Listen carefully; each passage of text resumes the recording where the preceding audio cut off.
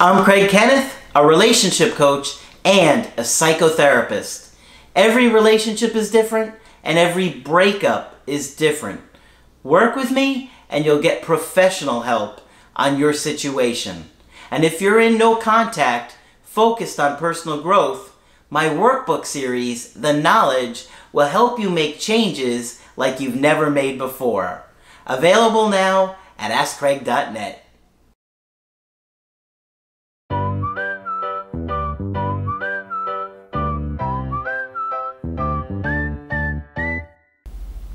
Hi there, I'm Coach Craig Kenneth, and in this video, I'm going to be talking to you about do this when you feel the space. Well, you're going to find that no matter who you're dating or in a relationship with, there are going to be times where that person needs space from you. And it's in these times where we're going to feel activated by our anxiety and our attachment issues. This is something that I've been trying to teach you guys since I started the channel because what you're going to learn is that attachment issues and our attachment styles and attraction go hand in hand. So, the more that you enlighten yourself on your attachment issues, the more you're going to be able to understand attraction and how to behave attractively. So I've got a really good email today from somebody that I did a coaching with recently, but I want to talk to you a little bit about this first because I want you to understand no matter who you date, there are going to be times where they pull away, where they're less interested.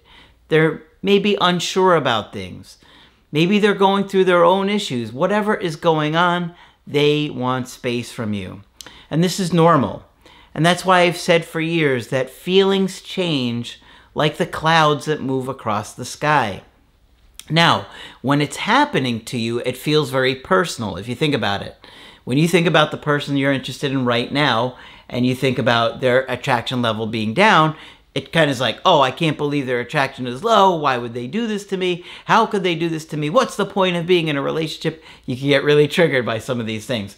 But if you think about it, your attraction for them has probably gone up and down, right? Especially if you dated for an extended amount of time. There have probably been points where they've said or done things that you're less interested, or maybe there was somebody else at work that you're also interested in.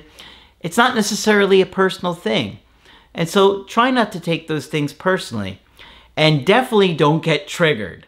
And the more that you work on your own attachment issues, the more likely you're going to attract people that you never thought you could attract.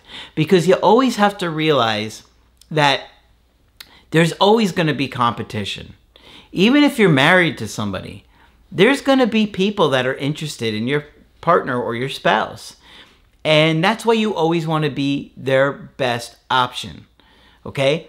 Because the more you show up as a secure, confident person that's there for them and making life great, the less likely they're going to consider other options, right? And some people get really hurt and offended by that, that somebody would consider dating other people. But if you only have one life, don't you want to make the most of it? And if you're in a relationship where your partner is not making an effort, they're neglectful, they're anxious and controlling, manipulative, why should they stay?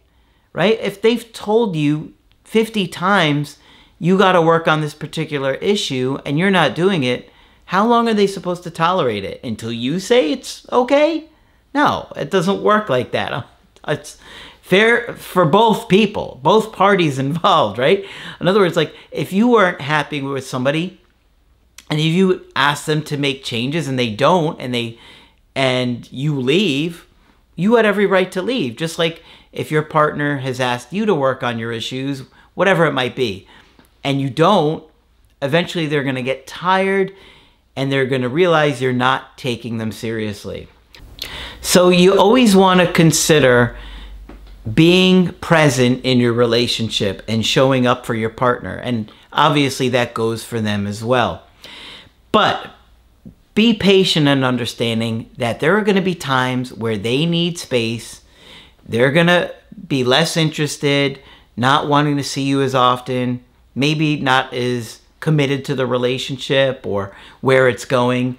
And understand that if you don't work on your attachment issues, your anxiety is going to come out and you're going to do things that wind up pushing them away.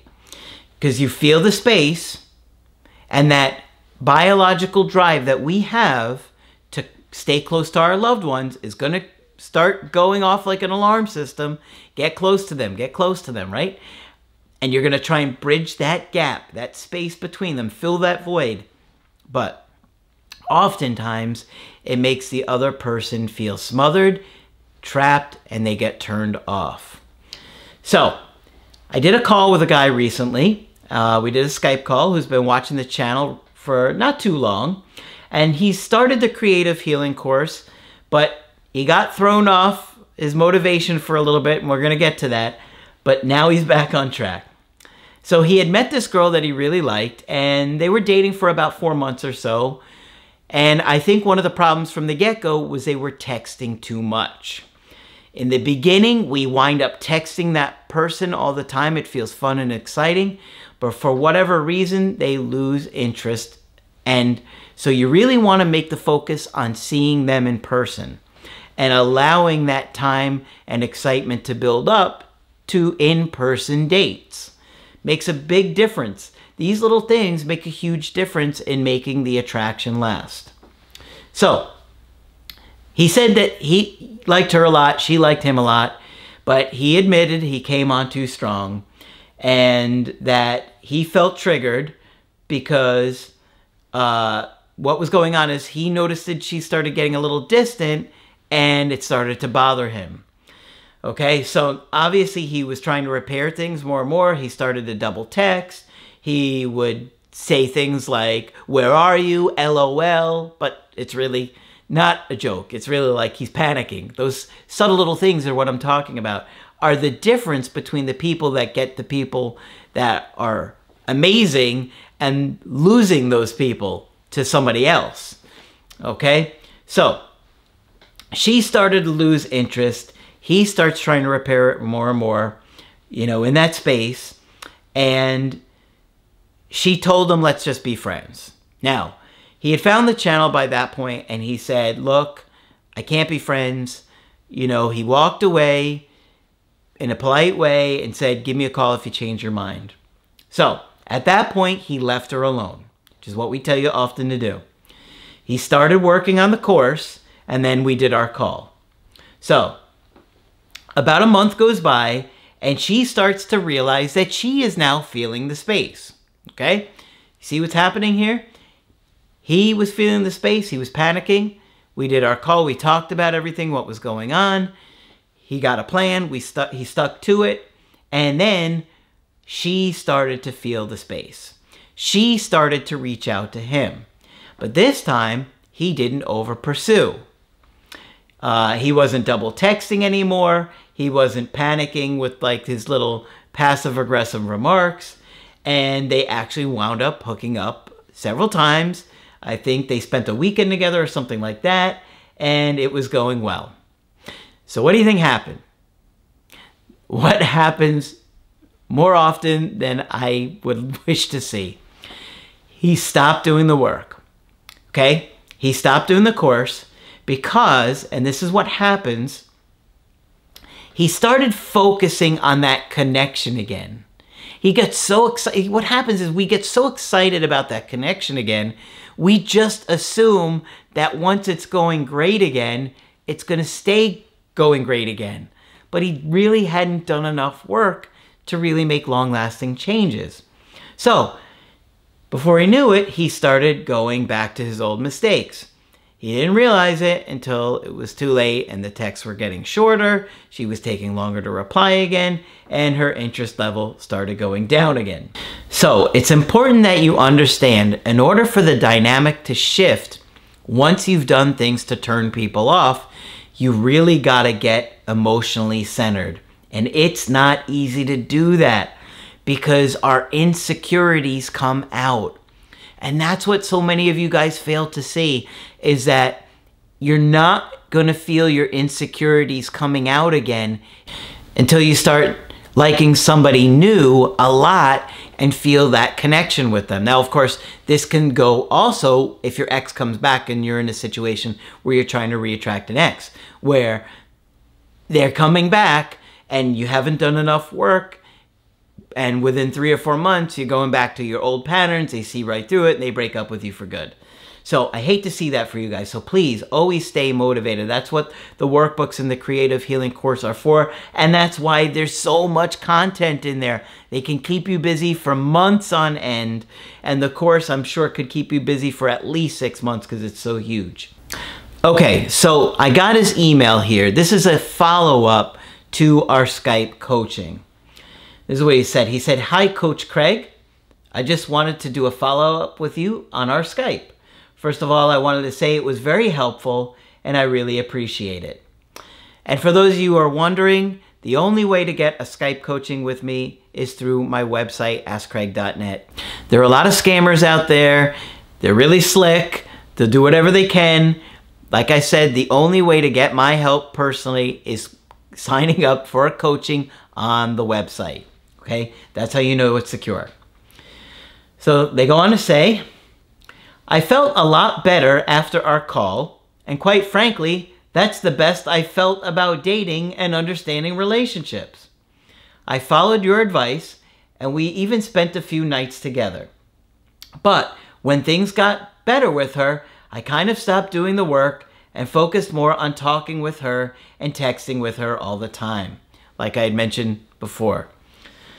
It wasn't long before she started taking longer to reply. When I tried to set another date with her, she said, We'll see. She's busy with work right now.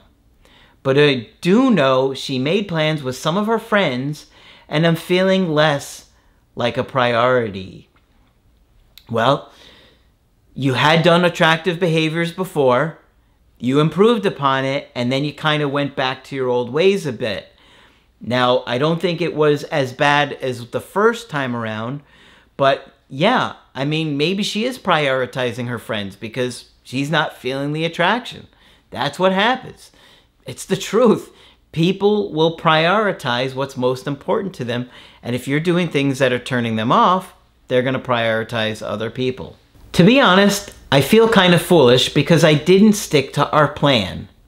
When I did, things were turning around and I could feel her energy shift, even in the way she looked at me. But now, I can't help but think about her talking to other guys. I see her go on and off social media, posting things occasionally, just funny memes or reels, but it still has me obsessing about her. Sure, think about it.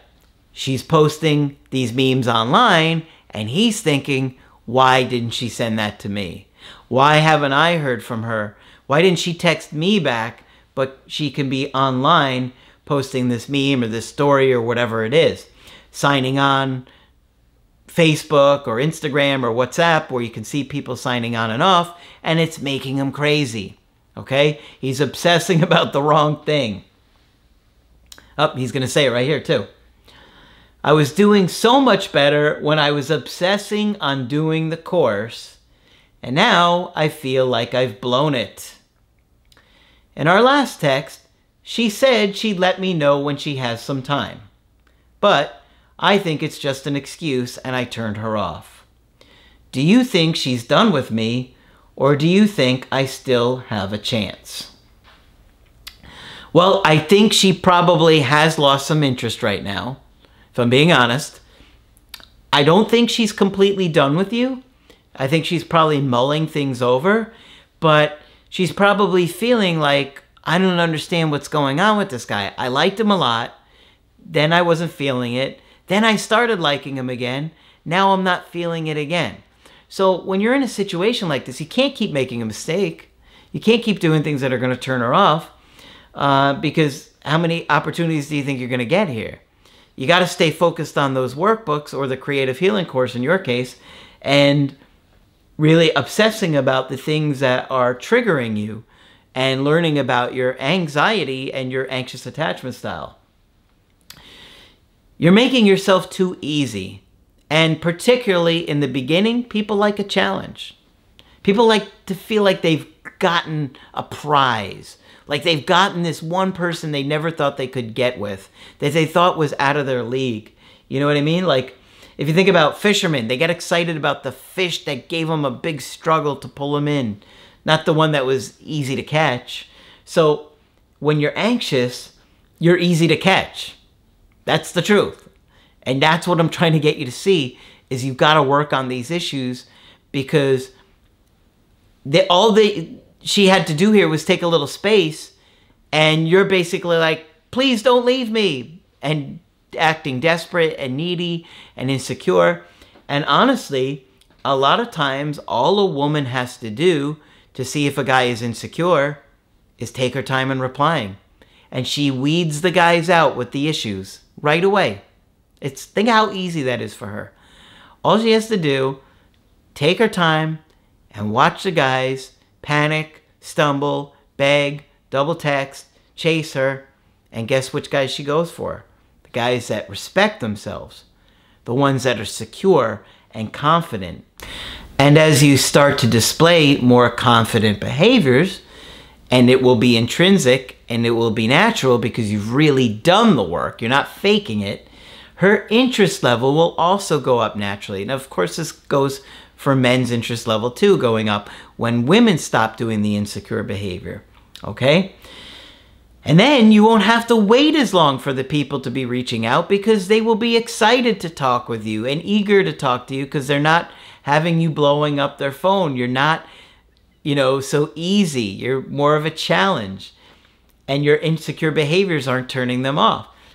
But when you really do the work, you can really see the change and the shift in the dynamics and in the connection and in the feeling of that connection. It's authentic. But if you're desperate, and believe me, if you're anxious, you're going to come across as desperate, people are going to lose attraction for you. You always want to act confident in whatever happens. And that's why I'm always trying to help you guys improve your mental health and your insecurities and your attachment issues because you have to really do that work to get there. It doesn't magically happen. Okay, unfortunately, you you are whatever age you're at right now. It took you that many years to get where you're at, and you've got to work through those issues. Okay, so it's going to take time. But when you truly are secure, you're confident with whoever comes and goes in your life. And you're not getting rattled and angry and hurt and manipulative just because their interest level drops. And when people naturally take space in a relationship, because they always will, you'll be confident. But the truth of the matter is, the more confident and secure you are, the less likely that they're going to want space from you. Because you're not going to do things that are going to make them want space. They'll naturally want space, but it won't be based on your behaviors. And that is a huge shift to a relationship. And that is what we're trying to teach you in the workbooks and in the creative healing course. So that's why I tell you guys do them 30 minutes a day. He was doing well. He got excited about the relationship again, stopped doing the work, and went back to his old ways. And that happens a lot. So please, learn from other people's mistakes. Learn from my mistakes and all the mistakes that I've taught you about my own personal life over the years. That's why I tell you guys, so you see that I get it. I learned the hard way. And all the information that I've put together over the years, I've learned through experience, my education, my hard work, training with Margaret and all the other supervisors and clinicians I've had work with me over the years to get to the understanding where we're at. Okay? So hopefully this helps you understand things a little bit better. Of course, if you want to get my help personally, you could do that on my website, askcraig.net. I do email coaching and I do Skype. You can get my creative healing course and my workbooks there as well. But that's it for this video. I'm Coach Craig Kenneth, and I will talk with you soon.